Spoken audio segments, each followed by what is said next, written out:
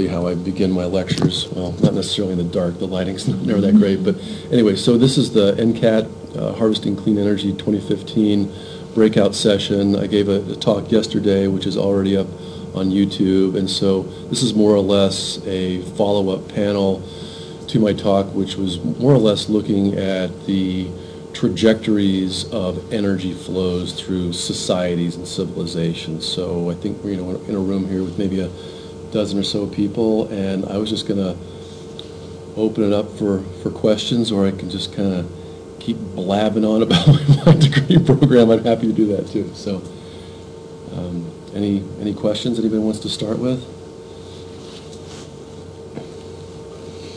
You started to go a little bit into some of the, uh, some of the projects you're doing around Montana. Oh, sure. Uh, If you can maybe just Oh, some more detail. Yeah, that, that, were pretty interesting. that sounds great, Carl. Yeah, thank, thanks for that. So, um, rec- recently, I just, uh, passed my professional engineering exam, so I'm a licensed professional engineer in, in the state of Montana. I think that's really opened a lot of, a lot of doors, and, um, what I, what I can do is just sort of dig into some of that.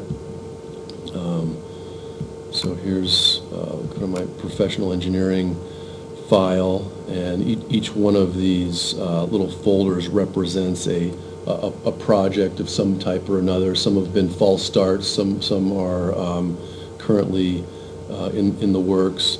Uh, This, this little one right here, this is uh, Bobo Kant, uh, Bobo Electric there in Missoula. Um, I've just been doing some structural engineering work for him. He's, you know, he'll, he'll put PV on a, uh, on a building. And it's, you know, it's, it's relatively uh, straightforward, not too, nothing too crazy. But with my professional engineering stamp, which you can see here, I'll um, go in, uh, take a few photographs of the building. Um, If there's some structural defects, I'll make sure that he amends those before he goes in and installs the panel. Um, I've gotten myself a little bit of trouble sometimes. I'll, I'll look and say, gosh, you've got some insulation problems, you should probably address those. He's like, well, no, that's not what I'm paying you to do. Just look at the structure and let the homeowner worry about those too. Um, So, you know, relatively modest uh, bill- billing fee, and that's just kind of what the going rate is for professional engineers in Montana.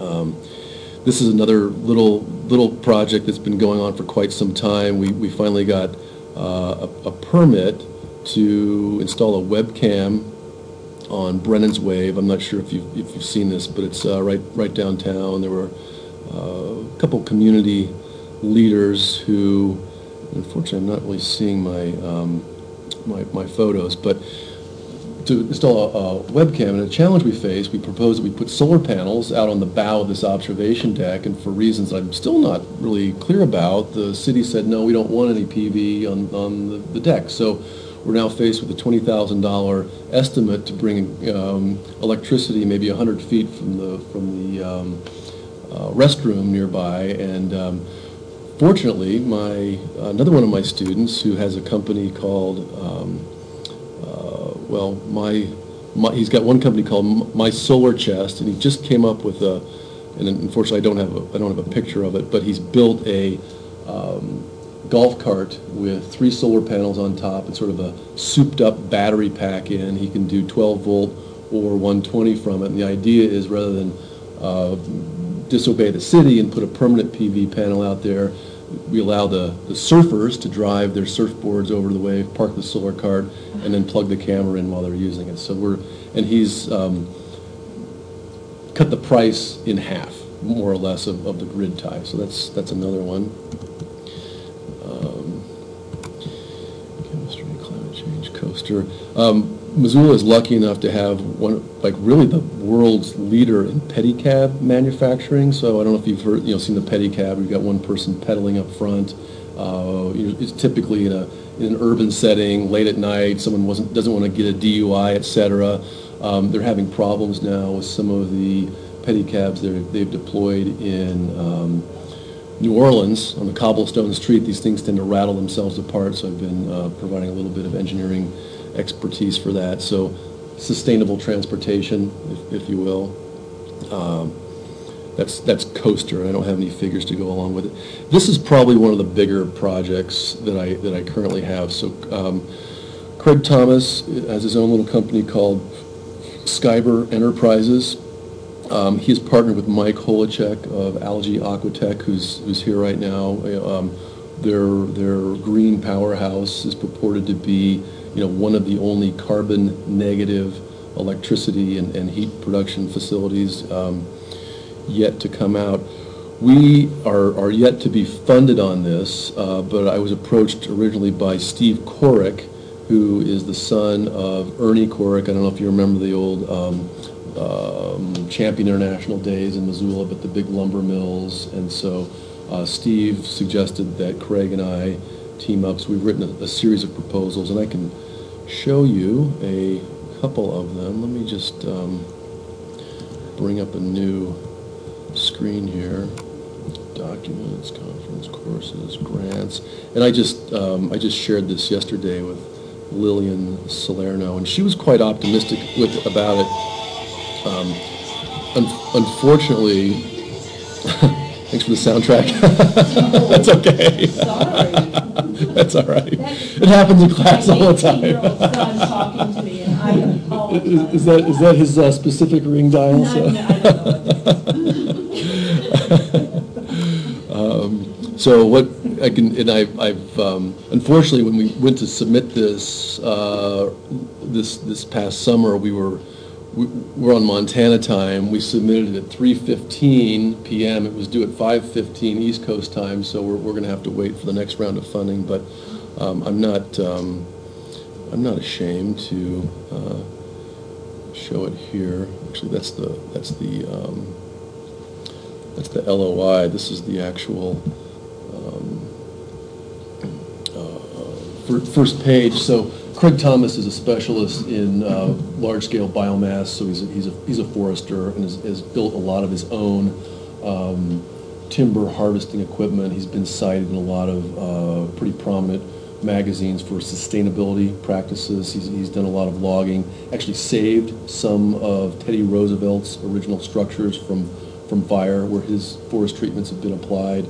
Um, Elk populations come back and, and fire is mitigated. So, and, and again, uh, what we're really trying to do here is sort of turn Montana problems, like forest fires, into Montana solutions by utilizing the biomass that otherwise would just be, uh, you know, burned up. So I'll just let you read through that.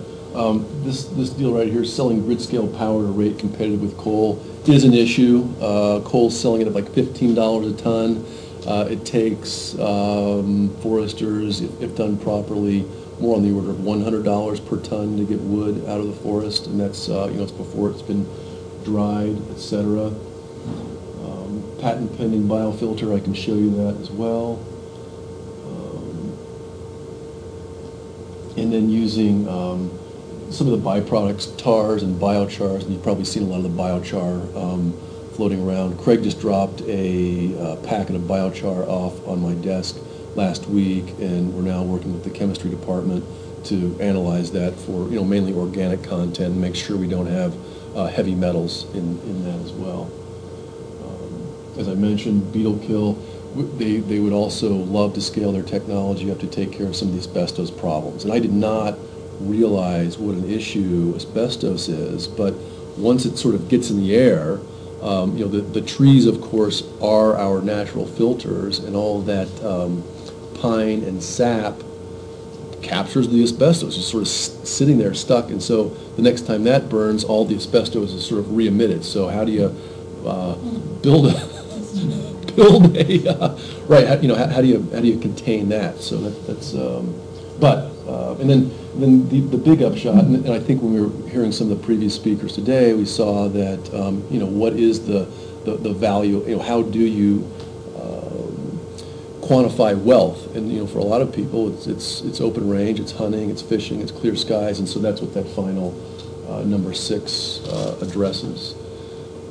Um, So, like I said, we've been, we've been pursuing this for quite some time. This is Craig's prototype. This is his house, this is his shop, this is his cabin. Um, This is the little prototype, so this is just a conventional wood-fired boiler, He uses to heat all three of the structures. The heat is pumped underground. And it was partially um, inspired by his wife, who said, you know, gosh, Craig, I love it when it's nice and warm in the house, but why the heck is it smoky every time the heat comes on? So he and and came up with a, um, this this filter, which is here, and I can show you some of the details, but they basically are um, rerouting the flue gas through their filter and really doing an impressive job, taking almost all the particulates out, a lot of the NOx, the SOx, um, the COs, and the CO2s as well. And so that's, that's, uh, we're, you know, currently looking for funding to scale that up, you know, to the institutional scale and perhaps even to the, the grid scale if, if possible. Here's the grid scales. This is a shot of, you know, looking at, looking at Colstrip and his um, idea. I've got a, a video. If we have time later, I might, if, if somebody wants to see it, I can show you a video. It's a really impressive animation of what this thing would actually look like. It's close to rail. Each one of these little green containers that you see here is more or less a uh, larger version of the, the filter, which is just a home, home-built version there, the uh, piece number two. There's Craig. If you get a chance, read his book. It's great. Uh, a little bit irreverent, but uh, fun, entertaining to read. And then um, here's some of the um, environmental data that they have from their preliminary testing. So obviously, there's heat recovery going on here rather than, so otherwise, all this heat would have just been exhausted to the atmosphere, but through their process, they're able to re- recapture even, even more than they otherwise would have. Oxygen um, goes up. Each of these numbers I've just normalized to whatever the, um, the- the control value would have been. So CO2 is reduced, um, CO2 ppm, and then I think somewhere down here, maybe not in this particular submission, I've got um, the data on um, particulates too. So here's a more complete view. Uh, So this really is an integrative system. If you've seen some of the complexity in the algae aquatech, there are multiple sta- uh, stages. You've got gasifiers, drivers, uh, that's an electricity generator making its own heat, uh, and you can think of this as sort of a distributed heat model that would be sent to a pond. I was just talking with a gentleman earlier today, who's, you know, they're doing aquaponics, Uh, so sort of re, recreating that, uh, you know, capturing all the gas and, and utilizing it. Um, The, the BFRs that you see here in brown are the biofilter reactors. That is that sort of belly there that all the, the emissions are going through. So um, it- it's sort of at the, at the heart, if you will, of a lot of these processes. Um, Food is integrated as well, uh, food waste into a digester at at a school-sized institution. If I understand correctly, um, seven states are going to outlaw uh, grocery stores and restaurants from putting uh, food in the landfill by, by next year. So I, I think, hopefully, we're getting a little bit ahead of that curve as well. Um, Again, there's the shot. Here's kind of inside the, the filter itself. This, this thing is actually inoculated, so there are microorganisms uh, metabolizing a lot of the waste gases inside. What's the source of inoculum? Um, you know, I, Mike Holacek could, could answer that better than I can. He's, he's more the uh, biochemistry specialist, so I don't, unfortunately, I don't have the, the, the names of the microorganisms at the top of my head, but, It's uh, like, where would you get them? um, yeah, you know, I, I, I want to say just from, from natural soils, I mean, these are, um, you know, not necessarily photosynthetic organisms, and it, it might be in here somewhere, but they would be, yeah, I, I'm sorry, I don't know all, all the details. Um, But, you know, just like any, um, microbiology, it's sort of self-perpetuating. It's, it- you know, it's a living system, so as long as the, uh, growing conditions are right, they, they sort of, uh, multiply themselves until they reach the, their own little Malthusian limit within their system, if you will. Um, So some of the environmental testing again. Uh, This is the uh, Teddy Roosevelt cabin that I was mentioning previously that Craig uh, um, saved from burning. This is his own uh, his own um, technology that he's developed for sustainable harvesting of timber.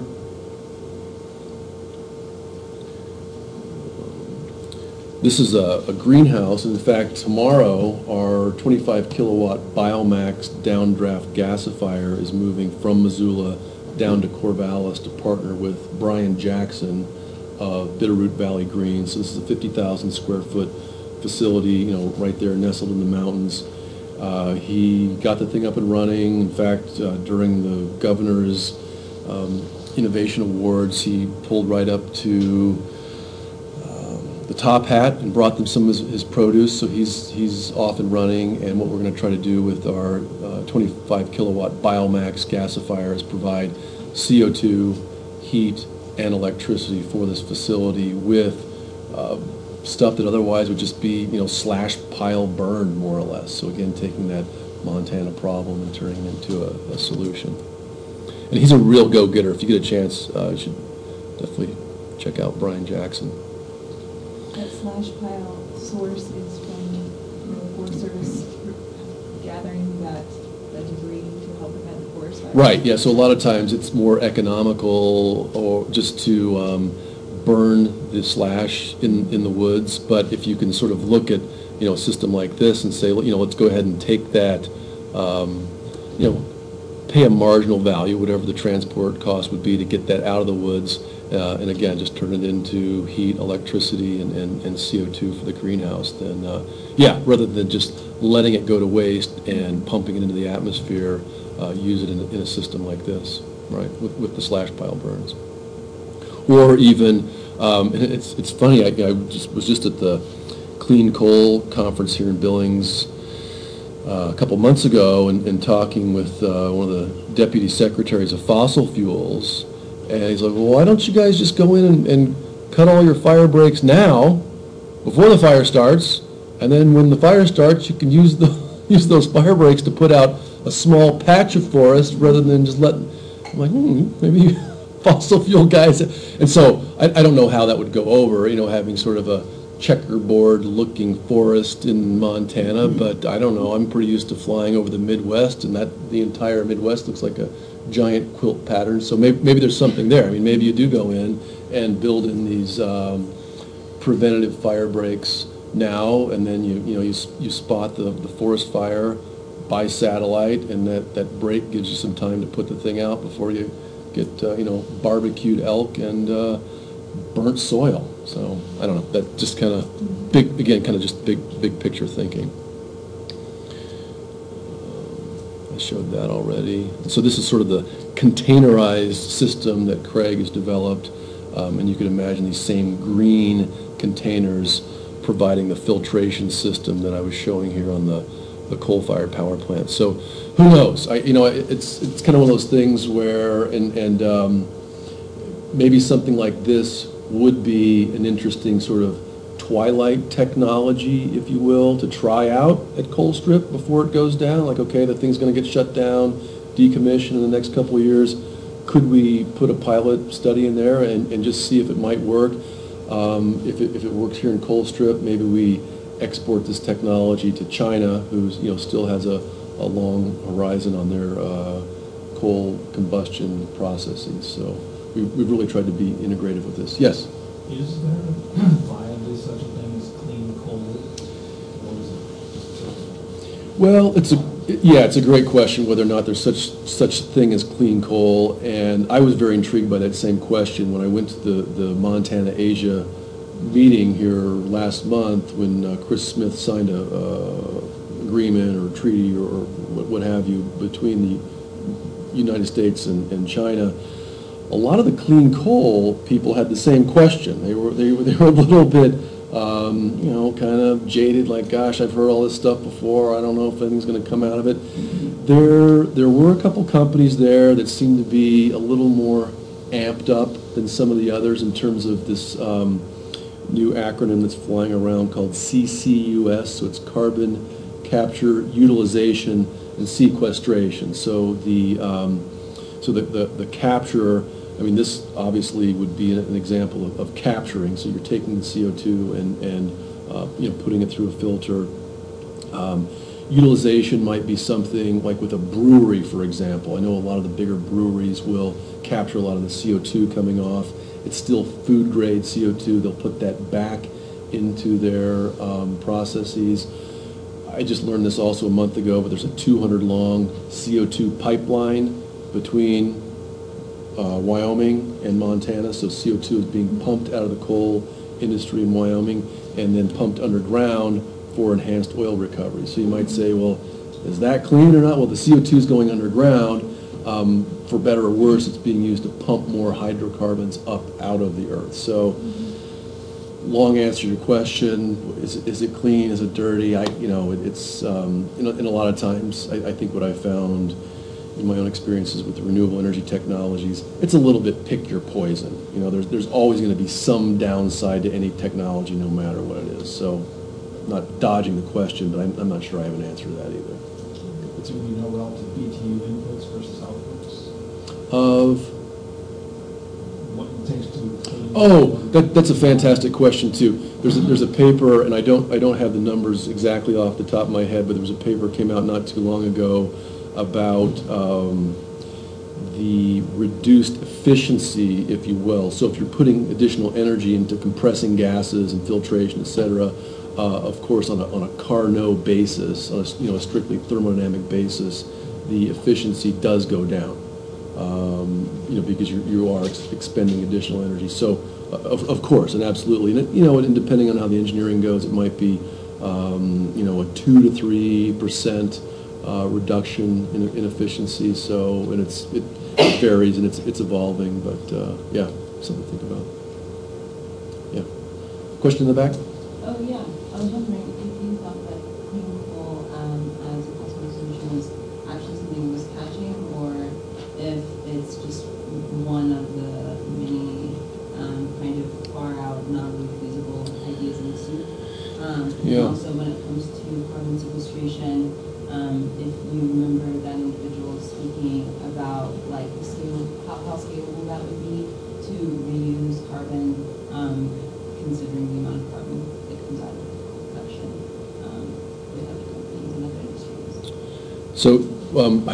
what, what specific Uh, question? those are two questions. So, Those are two so, so do- so give me the first one first. Um, the first one was whether you thought, I guess based on your exposure to the conversation, um, if clean coal was something that was catching. Oh, I see. um, Or whether it was just like part of the soup, just like one Right. of the many Well, so, yeah, so.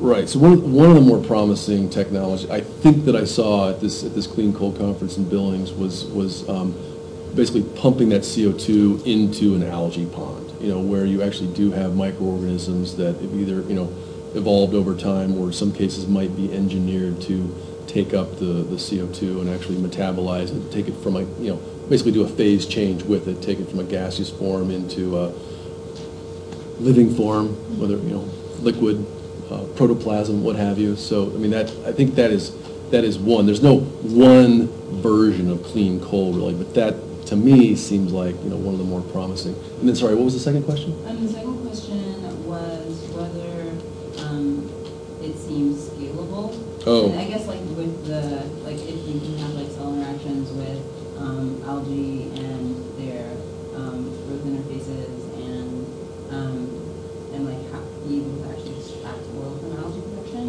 then maybe it could be scalable because then you can say, oh, like one whole plant and several algae growing, um, facilities or labs. So like, is it scalable? Right, that right. Or yeah. does it seem like Sure. people felt it could be? Sure, well, that's a great question. So you take, um, what is it, 40 billion metric tons of carbon that our technologies emit per year, and I, have- I, I'm not sure I'm up to it. Frequently in lecture, I'll sit down and just sort of do a back of the envelope calculation, and I could sort of tell you how many acres of algae you would need to do that, and um, maybe in a, in a subsequent lecture, I will do that in my 102 course. It's something I've been meaning to do for quite some time, and, and- but, you know, if you look at the sort of the scale of this particular facility, I guess while we're, while we're on the topic, I mean, this is actually one of the projects that I've been dumping the majority of my energy into, and I can show you another um,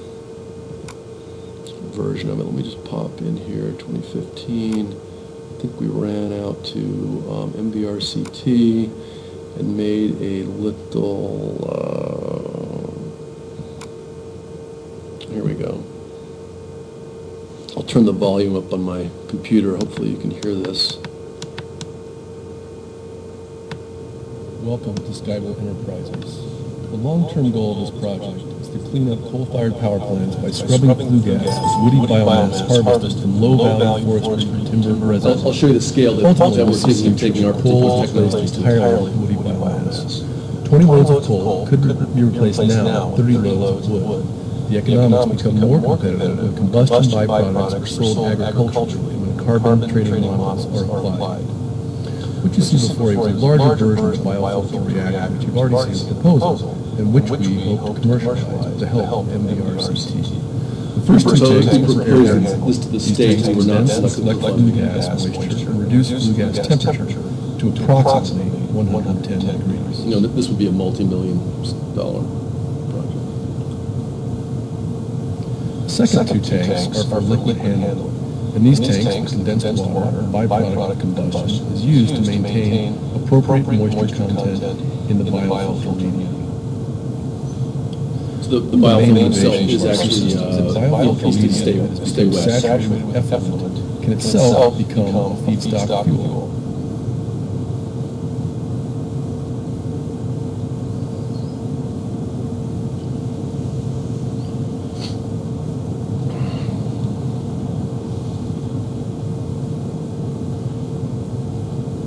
I, I've, I've shared this a little bit with, uh, Max Baucus too, and I, I shared it with. uh, Piping Williams system and directs the exhaust cast to the primary BFR array, which can expand to varying degrees depending on the size of the power plant it serves. Here's your, here's, here's my favorite part of the video. There, there's your, uh, scalability, so. Infinite configurations, well, I don't know. As individual units become saturated, they are moved to the drying array, where additional cooling district This heating also could potentially becomes be somewhat of a self-perpetuating This is the cycle as well, just like the, dry, the saturated saturated act actually becomes a reutilized feedstock for, for energy in a The similar first way. half of the material is used for electricity production, and the remaining carbon is used to manufacture byproducts such as char- charcoal. In the second mode, 100% of the heat is extracted, and asbestos-laden material becomes vitrified. So you could control it, so some of it could go back into soil and then some of it could go into energy Flue production. gases are again filtered.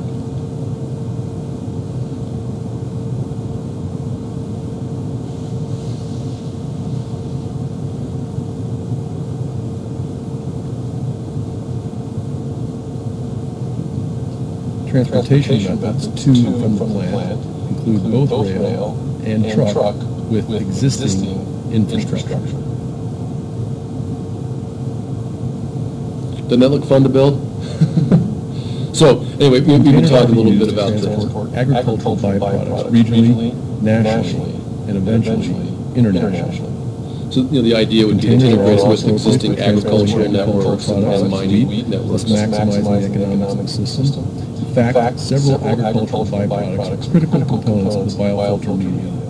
Our containerized system also serves as a soil transportation system for minerals such as bentonite, another media component. So bentonite's another uh, mineral that's used in the, in the media. Thank you again for your time and leadership. I look forward to working with you as the project progresses Yes. in Montana and internationally.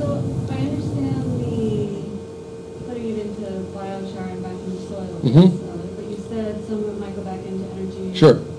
Production, what does that look like? Well, it- just them reducing greenhouse? Right, well, it's, um, it's weird. I mean, we're, we're, we're sort of on an energy treadmill, so as long as we're using thermal plants to create energy, then, yeah, that's, that, that is where it goes.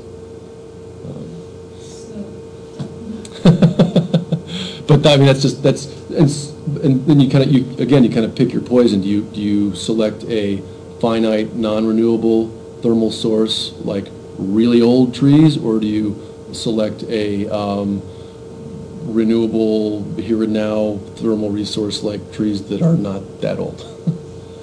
Yes, question, yeah.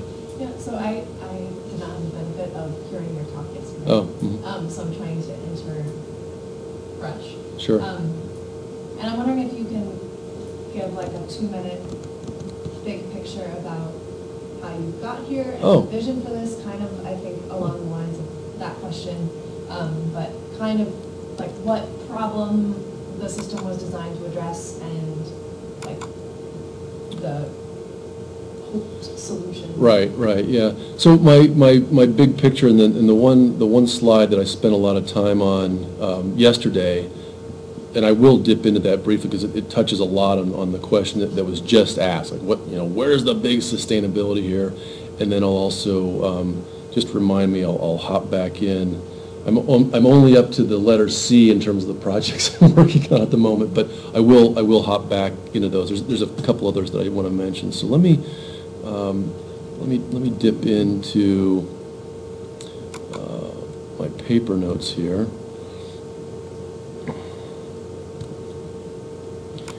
And I, I have the, the good fortune that Steve Korick there in um, Washington DC typically feeds me these things. So this, I, I spent a lot of time talking about this, this paper yesterday.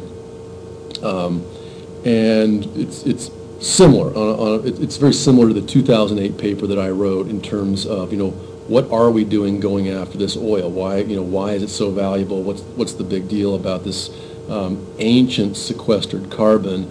Um, These researchers sort of ask the same question and show here that more or less humankind is a, is a drain on the Earth's energy resources, both renewable and non-renewable and dives into this graph. I didn't spend a whole heck of a lot of time talking about it. I think I showed it briefly, but this um, 2,000, you know, 2,000 plus, you know, 25,000, 40 something uh, zetta joules is, is more or less the, the entire budget of the planet's carbon reserves.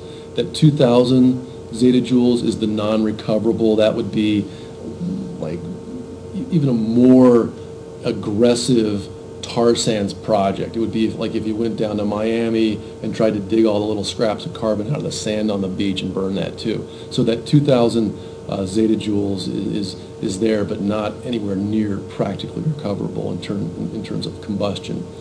The, um, the 500 is, is nuclear power, but again, non-renewable. I mean, all of those, um, all of that nuclear energy was sort of put there by the last um, supernova that created the solar system, and it's, that happened once. We're not going to wait around for that to happen again.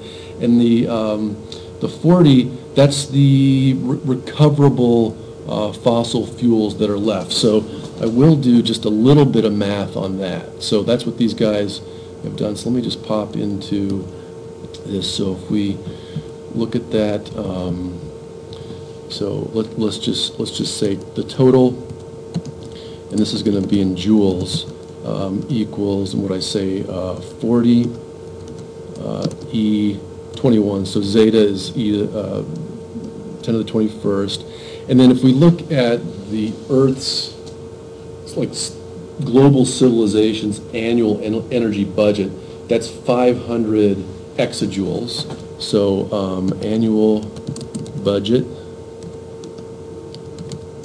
um, I hope these numbers work out.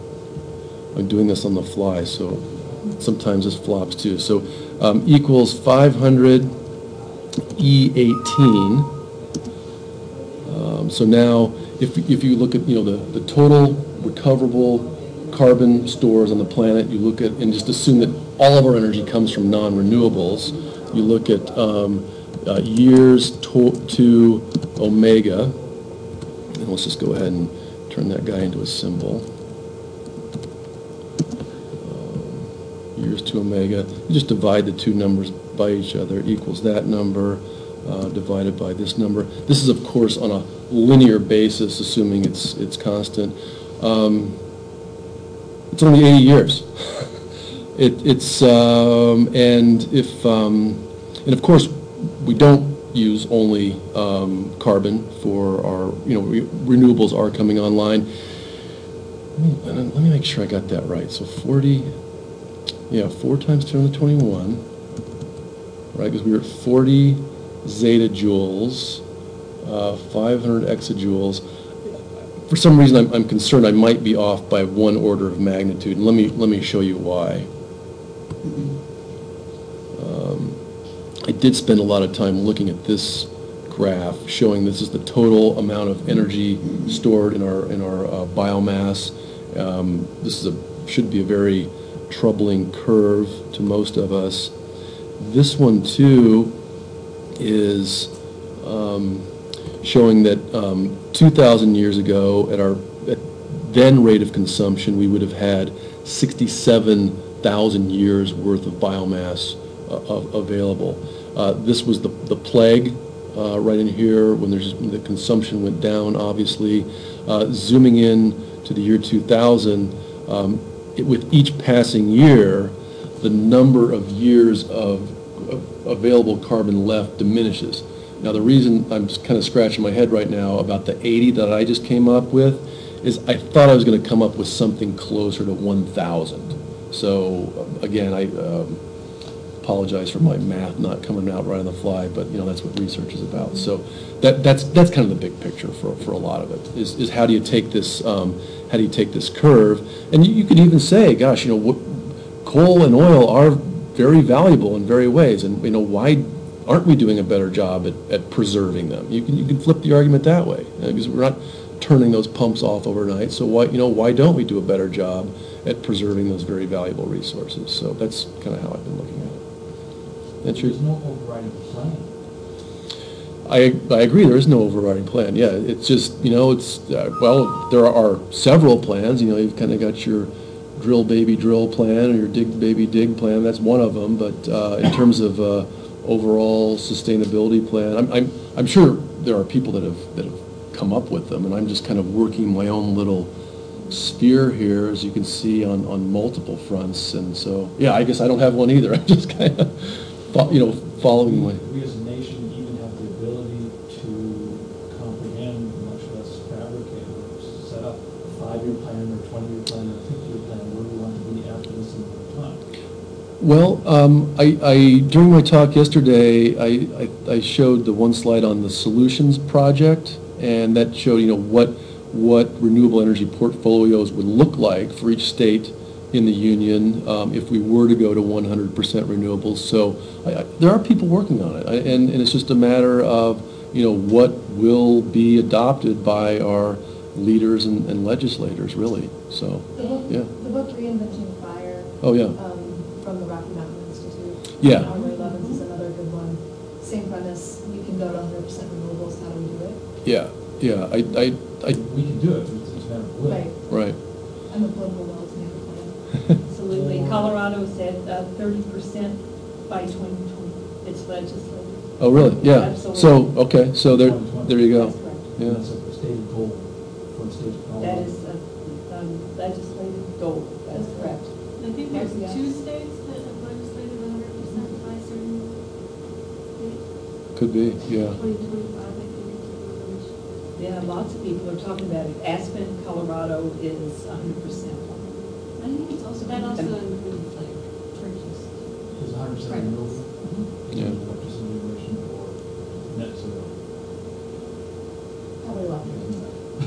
Well, it, does. Yeah, absolutely. No, it's hundred percent. Yeah, A- Amory Lovins is, is a good thought leader on that. And in fact, um, he, he does a great job tying in the, the physics with the, with the finances. Uh, he, he really does, yeah. So, I mean, there are, there are people with, with plans out there, it's just a matter of im- implementing them. You know, like you said, having the political will and, and passing laws to make it happen. You know, I- and what I found, there really are very few technological barriers anymore. In fact, I'll get back into some of the projects I've been working on, and I'll, I'll just let you know something that uh, happened to me recently that I was somewhat surprised by, but perhaps in retrospect, not so much. So, um, the island of Antigua has a population about the size of Missoula, 65,000 people or so. Um, there, they pay a dollar twenty-five per kilowatt hour for electricity. Uh, in Montana, it's 10 or 11 cents. Um, 100% of their electric, well, I think, I think there might be three kilowatts of PV on the island.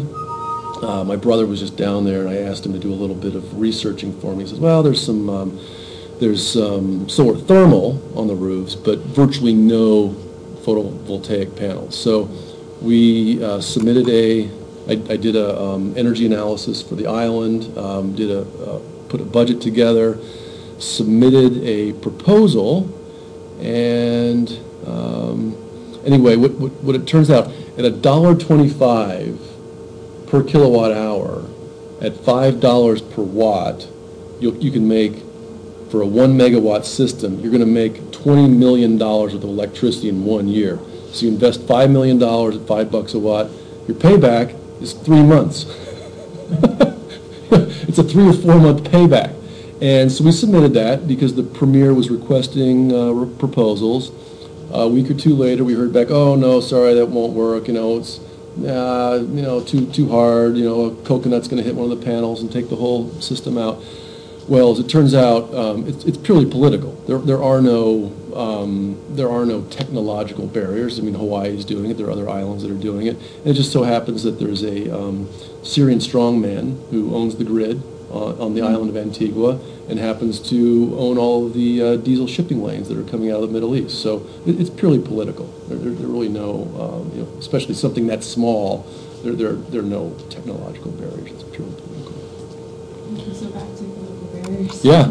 Why did the city of Missoula, what, like, what explanation did they say, no, cannot put solar panels up for a video camera Ben's Way? You know, I, I should, I should look into it. I just had the opportunity to um, discuss that problem with Bryan von Lossberg, who's um, one of our city council members, and he said he would just have a word with somebody and- and see. I- I'm not really sure why. They, they, they thought it was a, an injury risk, you know, someone was gonna cut themselves in the corner of the panel or do chin-ups on it or whatever, but I'm like, you know, there's all kinds of junk around town you know. Brennan's Wave is not the most safe, I mean, really. No, the- the- the- There's a bunch of that's right. navigate, There's not really stairs down to it. It's really- Yeah, no, and, and the, where we, where we proposed the panel, it was, you know, far enough below the railing you couldn't reach it, and far enough above the, um, the ground that you couldn't reach it either, so I, it, I, I, there was, there was not a strong argument against it. So I spent a lot of time, yes, Um, You cited Ilya Prigogine. Oh, I did, yeah. And he's a great mathematician, right? Yeah, Ilya Prigogine is, yeah. And uh, uh, what, what of his did you say?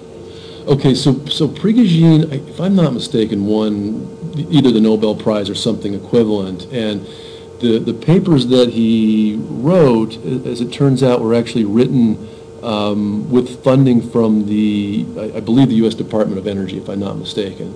And if, if, if in, in several of the papers he wrote, he, I think they were actually looking, so he's more or less a chemist, and looking at um, the ability to extract energy more or less from fossil fuels. And some of the other things he went into were uh, Poincare's conjectures and this whole field of what's called subdynamics, uh, sort of um, look, looking at how you might look at the second law sort of from a um, Carnot um, scale versus a uh, Boltzmann scale. So there's a lot of math in there. I wish I had time to dig, dig deeper into it, but when I was giving a talk in Malaysia to the Wessex Institute in December, uh, work came up severally, several times in relation to some of the, the ideas I was kicking around. So I guess I've been loosely inspired by his ideas, in the same way that I was inspired by um, Richard Feynman when he started trying to tie together um, Shannon's information theory and Carnot's and Clausius's theory of th- thermodynamics. So that's kind of a broad stroke reference to him. I'd love to learn more about him. Yeah, Yeah. he he did, um, I don't know, like the the fractals, maybe in chaos complexity theory and and things like that, and I wonder if there's a tie to the thermodynamics. But anyway, I just thought it was, Yeah, I, I want to, I want to say yes. I'm not exactly sure how. I mean, it could, it could have something to do with, you know, and it was very new to me when I read it for the first time last year, but this notion of, of sub dynamics, you know, things that, you know, like in our world right now, you think of dynamics in terms of like a baseball flying through the air. in sub dynamics, you might think more of what um, neutrons are doing, bouncing around inside a, a nuclear reactor, or what's happening with individual gas molecules at, at the molecular scale, So so. is it a little bit of a tie to artificial intelligence where you have like individual automatons that behave by certain rules Mm. and collaborate together to make larger structures of behavior? Anyway. That, that very well could be, yeah, it's, um, that's a great question. I, I, I don't know the answer to it, He's but. the one that did that, but, but Okay. it's that, that body of work kind of speaks to that, so it's very interesting. So, I mean, in, in the application to all of this is, I Mhm. mean, there's the sort of legislative top-down, Mm, you know, mhm. thou shalt do this, that, and the next thing. Right. Which we need, for sure, but then there's also each and every one of us have an individual set of things that Oh. what we do. Yep. And so our collective behavior, like larger structures come out of that. Oh, I like that, yeah, yeah. So it's, uh, it's really interesting stuff, and, um, what's cool too is, uh, um, Michael Smith is the one that did the aquaculture. Yeah, mhm, mhm. He is a physicist and programmed, um, the different components of that aquaculture system to interact with each other. Right. So, I mean, that's also an artificial intelligence, so it's just kind of interesting that that's coming up. Yeah, yeah. I like, there's maybe a little bit of biomimicry thrown in there, if you will, would you, would you Right, say? right. Well, Yeah. one of the things that when they just played around with these really simple rules for just like little pixels on a screen, they noticed um, you could get like flocking bird behavior. So, I mean, just the natural order that arises spontaneously in nature Mhm. can be simulated by giving each pixel or bird or individual unit kind of a simple set of rules Right, um, to follow, and then this larger behavior that you might not always be able to predict. right. It- it- There's similar uh, ideas flowing around in economics. I was just speaking with um, Gary Gannon earlier today about uh, Beinhocker's origin of wealth, and he takes sort of a Darwinian evolutionary uh, automata um, view of economics, you know, rather than this sort of top-down dictated, you know, sort of let, let each player take on his or her own traits and see how the, the uh, system evolves. So, yeah, there's, there's some overlap there. Yeah, yeah, well, thanks, good question.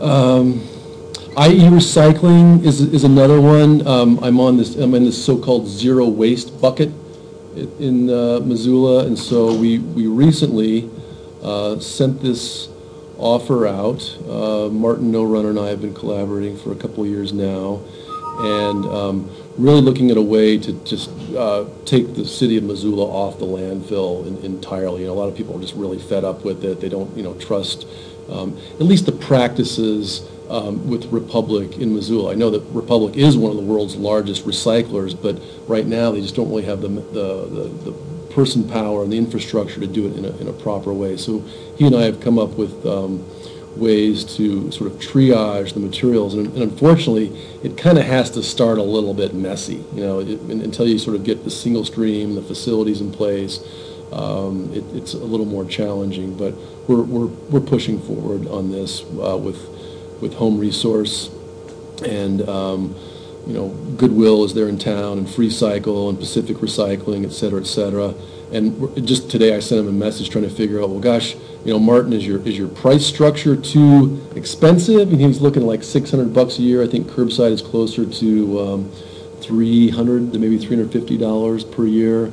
Um, the University of Montana itself spends four hundred thousand dollars a year on landfill, spends hundred and twenty K per year on its recycling center. So economically, you'd say, well, just get rid of the recycling center, because they take whole the stuff anyway. But if you just, you know, flip the waste pancake, if you will, and say, sorry, no more landfill, then you take all those materials and sell them and use them for their embodied energy and their manufacturing uh, utility or their composting. And again, it gets back to that sort of burn, bury, or build decision that you make with every one of these things. Do you, do you put the organics back in the ground?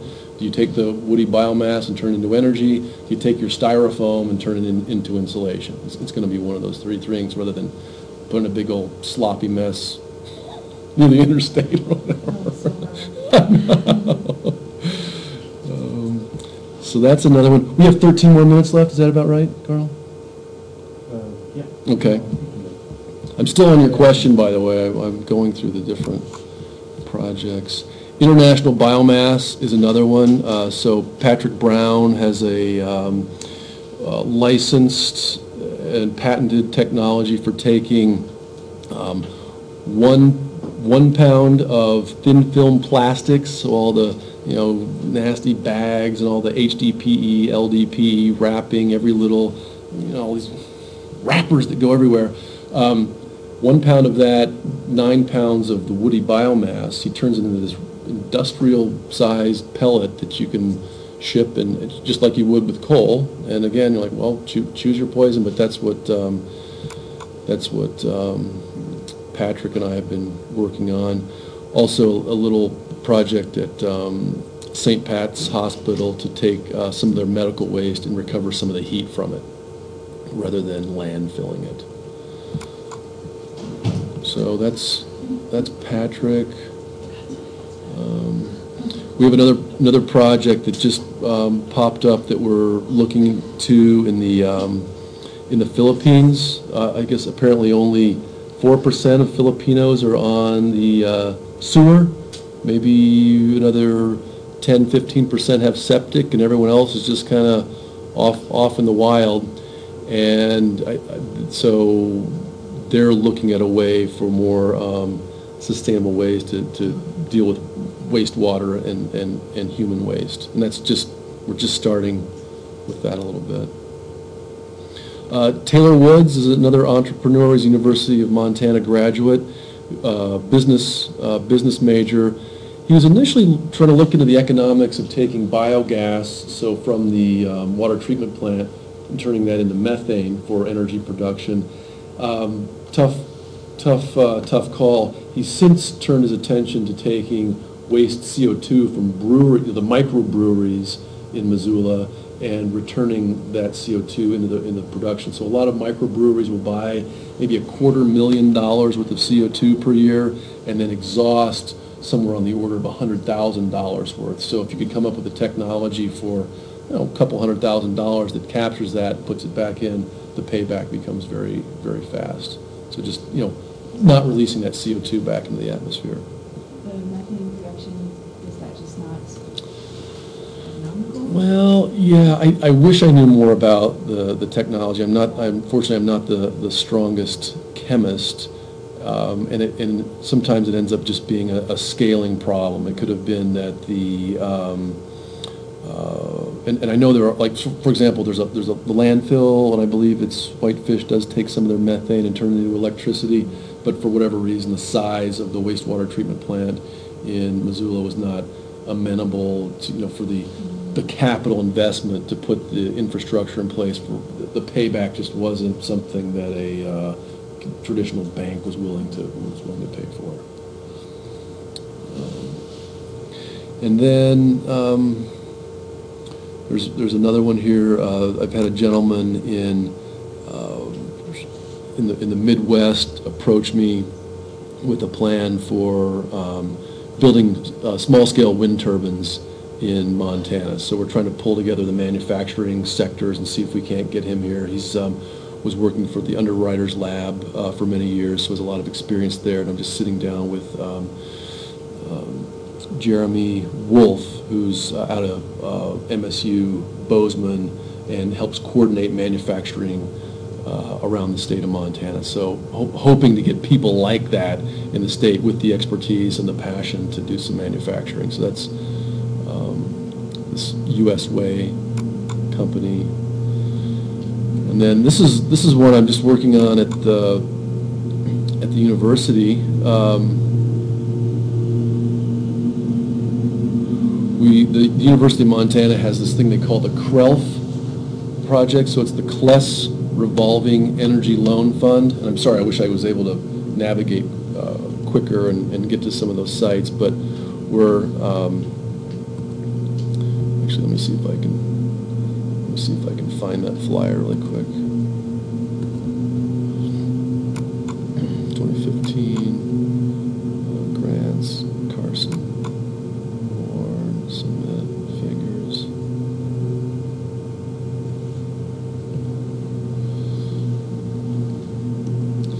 So it would be a, uh, approximately a 50 kilowatt PV array on the roof of our west campus. So it's sitting right out there on the edge of town, great open space, and um, he was able to get a little bit of funding for it. And right now, we're trying to raise the, um, the rest of the capital to implement a uh, 50 kilowatt array on uh, West Campus. We've also, we're also looking at uh, behind the meter three megawatt array at the university, but getting, for some, some reason I still am not really sure about, getting a lot of resistance from, uh, from our administrators on, on main campus and our facilities guys. You know, like, ah, it's going to be, you know, we're going to have to cut down trees to do it, which, you know, frequently, unfortunately, is the case. Uh, There's always a little bit of a competition there, but it would be, um, be over a parking lot, you know, it would provide shade in the same way that, that trees would provide shade, and they were worried that someone was gonna have to get up there and brush the snow off of it, et cetera, et cetera, but, um, and I, and I'm, and I'm not sure if it's a, um, there's, you know, some speculation that they're, uh, the, the president is worried about losing, um, funding from eastern Montana, you know, because the, you know, the university system itself is, is, is state-funded, and a lot of that funding comes, you know, comes from the conventional energy uh, suppliers. So I, I hope that's not the case. I don't think that's the case, but there's been, you know, some speculation that that, that might be why, that if we put up too much solar, we're lose our, lose some of our funding from some of the larger revenue streams in the state. I don't know. Yeah. So, I think, did I answer your question, Carl? I think I got that. Okay. So tho- those are some of the other, other projects. Um, And I, and I hope I also answered the question regarding sort of the big, big picture of my talk there in the corner. Yeah, okay, super. Then we can, we can talk Prigogine offline too, that'd be fun. I'd like to learn more about that. Oh, yeah, um, just, great oracle. Um, Yeah. Order Out of Chaos was a book, um, The End of Uncertainty. Yeah. From being to becoming, yeah, advances in, uh, chemical physics. Yeah. He did get a Nobel Prize. There we go, Nobel Prize, good. Yep, um, Uh, for his work on dis- dissipative structures, complex systems, and irreversibility. Irreversibility, yeah, yeah. That's. That's a good one. Yeah, and, and I think that's, when, when I gave those numbers yesterday in my talk regarding the um, anthropogenic entropy production level, you know, being uh, 23 orders of magnitude greater than the universal background rate, that's, that was something that um, was a little mind-blowing to me, you know, if in fact that is reversible, so, yeah, it's a weird one, weird one to think about. I don't, know if- I don't know if you caught that in the talk, but that, that was in this, that yeah, that was in, that was in this, um, this last. That much bigger than the background. Well, it just means, I don't know, it's the Metallica song, say the greatest flame burns quick. is, that, is that Parisian to uh, James Hetfield, I love it. yeah, this this was the uh, this is the paper that's just now um, just now coming out. Um, Oh, wow. Do you have, um, copies of this? I I could give you a preprint, I think. It's? It's, it's, it's just, it's just in, uh, it's just in press right now. This is, this is the paper that I presented in, um, Malaysia, and this is my own little sustainability coefficient. So there's, that's information on the left side, and this is entropy on, on the right. Um, So, yeah, the, the, the, the weird, the weird number that came out of it was this, um, uh,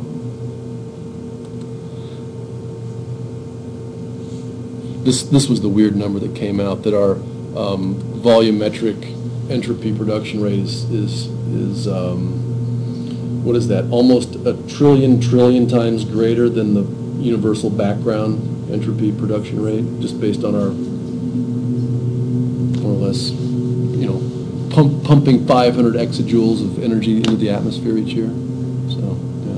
Similar to the, isn't that close to the number of, um, uh, atoms or molecules? Yeah, it is kind of weird. It, it works out to be right about Avogadro's number, and it's it's also strange that um, humans themselves sort of sit at, at about that ratio between the smallest known structures in the universe and the largest known structures. It's, it's a little funny how that, that works out, yeah, in terms of scale, yeah.